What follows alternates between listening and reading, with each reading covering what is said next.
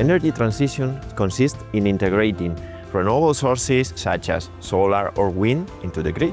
We need to have tools in our networks that allow us to study and to make the, the adequate planification of all of our resources. AI is going to be key in order to do that process in a fast and accurate way. Meteoflow started applying AI 18 years ago, but nowadays a new paradigm is being created in weather forecasting due to the advances in artificial intelligence. Meteoflow is an energy forecast system that provides power and weather prediction for all Iberdrola renewable assets worldwide. AI algorithms allow for the analysis and incorporation of real data into predictions, and they've been used to improve the uncertainty of the models. If we consider both prediction of weather along with prediction of outages, that allow us to take the adequate decisions in advance in order to face that incoming storm in a phased and reliable manner.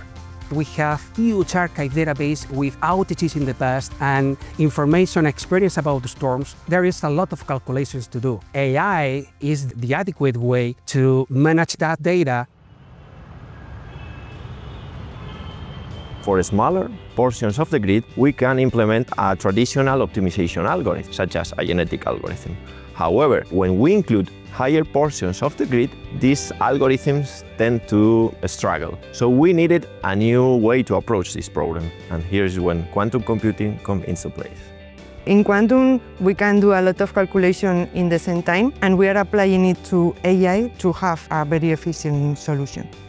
In multiverse computing, we develop quantum software for different use cases. The goal is to identify the use cases where we can reduce the cost and looking for sustainable solutions for the energy sector. Here's where battery comes into place. Batteries provide stability, flexibility, and resilience to the grid. We can install a battery in order to provide this extra capacity, but also resilience in case of a failure.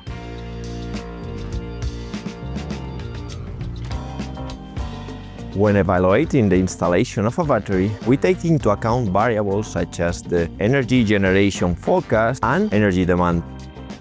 Quantum computing allows us to evaluate millions of scenarios at the same time, giving us the perfect location to install the battery.